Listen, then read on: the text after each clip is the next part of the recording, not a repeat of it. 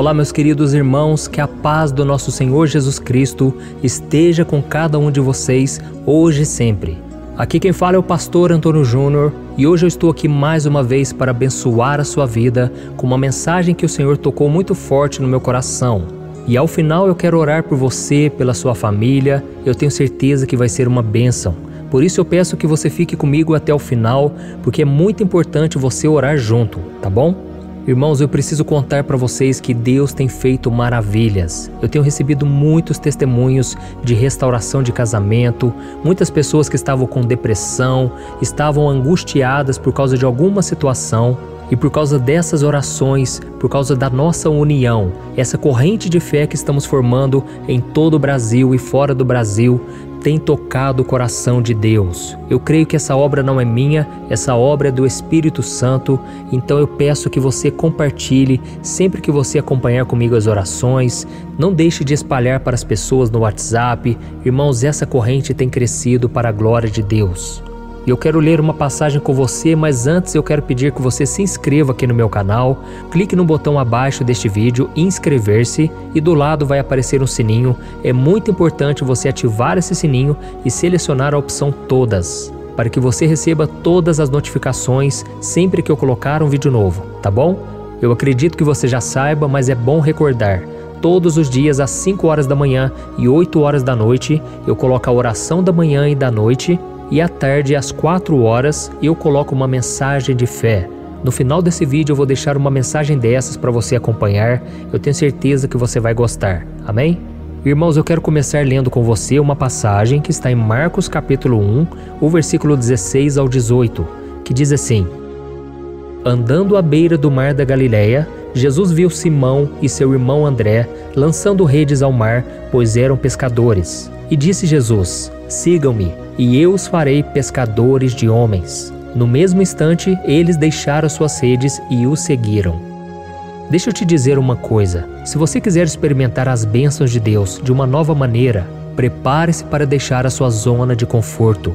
Por que eu estou dizendo isso? Porque Jesus ele veio para mudar radicalmente a nossa história.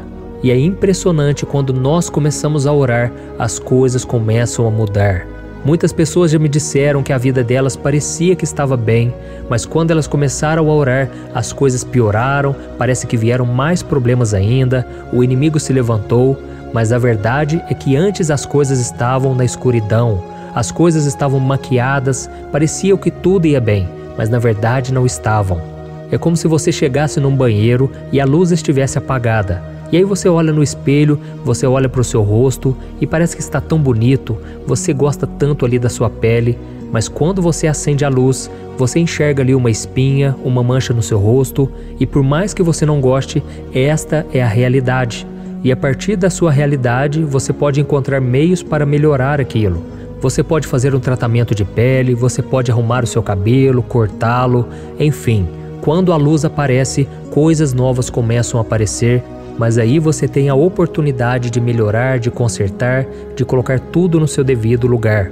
E é assim que Deus faz conosco, irmãos. Quando nós buscamos ao Senhor, Ele nos leva para a realidade.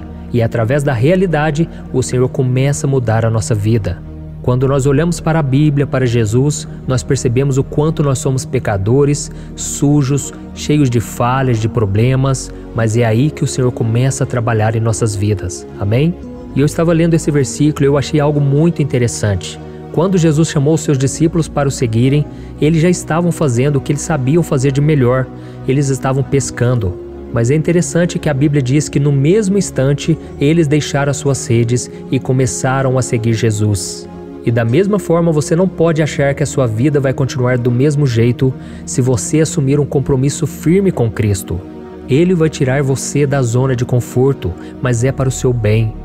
Quando esses homens, Simão e o seu irmão André, começaram a seguir Jesus, eles deixaram a sua rotina, aquilo que eles estavam acostumados a fazer e que lhes trazia segurança. E eles embarcaram numa grande viagem, que é a viagem da fé, é a viagem da caminhada com Deus. E eu posso dizer com toda a segurança do mundo, com toda a certeza, essa é a melhor escolha que um ser humano pode fazer.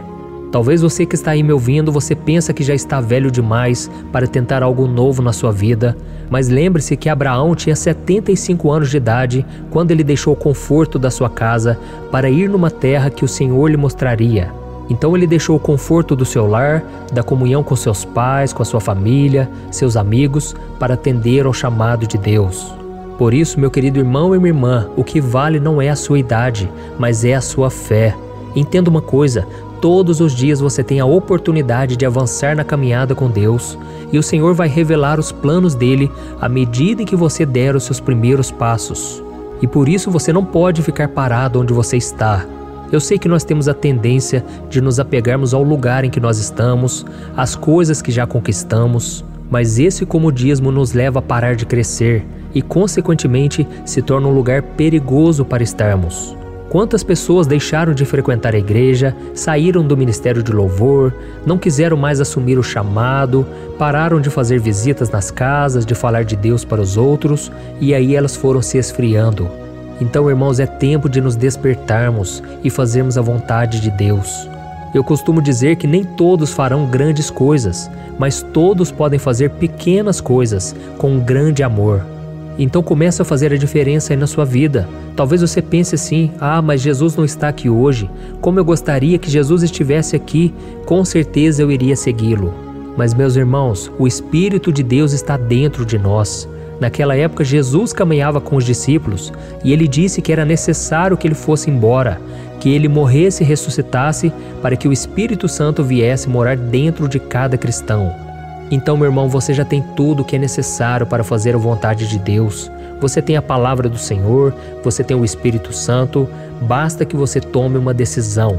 Se você sente que Deus tem tocado o seu coração e você acredita que Ele tem algo a mais para você, é hora de você enfrentar os seus medos, passar por cima deles e se lançar para uma nova experiência com o Pai, assim como Simão e Pedro fizeram quando eles decidiram seguir a Cristo. Eles confiaram no chamado do Senhor e as suas vidas nunca mais foram as mesmas. Amém? Então talvez é isso que está faltando para você. Você tomar uma decisão de assumir a sua fé em Jesus, e o próprio Cristo disse que se você reconhecê-lo perante as pessoas, ele reconhecerá você diante do Pai. Mas se você negá-lo diante das pessoas, ele também te negará diante de Deus. Então isso é muito sério, irmãos. Jesus disse que muitos serão chamados, mas poucos serão escolhidos, porque poucos querem dar o passo de fé, poucos querem renunciar à vida antiga que levavam, uma vida de pecado, uma vida de desobediência, uma vida de autossuficiência. E poucos estão dispostos a fazer a vontade do Senhor e renunciar à sua carne. Então eu quero te convidar agora, se você quer tomar essa decisão, ore junto comigo e a sua vida nunca mais será a mesma. Mesmo que venham as lutas, o Senhor Jesus prometeu que estará com você até a consumação dos séculos. Amém? Então feche os seus olhos e vamos orar. Senhor meu Deus e meu Pai, eu quero te louvar, Senhor, porque mais um dia de vida o Senhor está nos dando. Se nós estamos respirando, se nós temos saúde, é porque o Senhor tem uma obra na nossa vida. O Senhor diz que antes de nós nascermos, o Senhor já sonhou conosco. O Senhor conhecia cada parte do nosso corpo e o Senhor nos fez de forma maravilhosa. Por isso nós te louvamos, ó Deus, porque o fôlego de vida está em nós e principalmente o Espírito Santo de Deus tem tocado o nosso coração. Senhor, eu intercedo agora pela vida deste homem e desta mulher. A vida deles, meu Pai, não tem sido fácil, eles têm passado por grandes provações, mas eles agora estão colocando a fé no Senhor. Por isso, meu Pai, sonda esses corações. Veja neles se há algum caminho mau, algum impedimento, alguma coisa que tenha os atrapalhado a caminhar com Cristo, a segui-lo de todo o coração. E Jesus os ajude a caminhar pela fé porque nós vivemos neste mundo e vencemos este mundo pela fé. Assim como Abraão, que ele decidiu não olhar para o seu corpo fraco, para sua esposa que era estéril, mas ele creu na promessa do Senhor, dando glória a Deus. E a tua palavra diz, Senhor, que no tempo certo o milagre chegou. Alegria voltou ao coração dele e da sua esposa, E meu Pai, eu te peço agora que a alegria do Senhor Jesus venha sobre esta vida agora. Eu repreendo toda obra do diabo, toda obra do maligno contra essas pessoas. Eu quebro o poder de Satanás contra essas vidas. E eu declaro a unção do Senhor Jesus despedaça todo jugo, quebra toda barreira, maldição. Eu repreendo em nome de Jesus toda tristeza na alma, todo vulto, tudo aquilo que a pessoa tem passado de aflição, de depressão, de opressão espiritual. Eu repreendo e eu cancelo as armadilhas e os planos de Satanás. E eu declaro a bênção do Senhor Jesus. Eu declaro que essa pessoa vai até o fim. Eu declaro que ela vai conseguir cumprir o chamado de Deus, porque não é pela força, não é pela sabedoria, mas é pela presença do Espírito Santo nela. Em nome do Senhor Jesus, capacita os teus filhos para as lutas do dia a dia e, Senhor, que a cada dia nós possamos nos acalmar e esperar em Ti com confiança, porque o Senhor é fiel e nenhuma das tuas promessas caem por terra sem que elas se cumpram primeiramente. Oh, meu Pai, eu te louvo e te agradeço, porque essa pessoa, Pai, já tem vencido muitas coisas, mas eu creio que o Senhor vai completar a boa obra que começou na vida dela. Em nome de Jesus eu oro e eu já te agradeço. Amém. Glória a Deus. Oh, meus amados irmãos, eu louvo e engrandeço o nome do Senhor pela sua vida. Você não sabe o quanto Deus te ama. Ele já provou isso ao enviar Jesus para morrer na cruz em teu lugar. Simplesmente creia no sacrifício de Jesus e na sua ressurreição.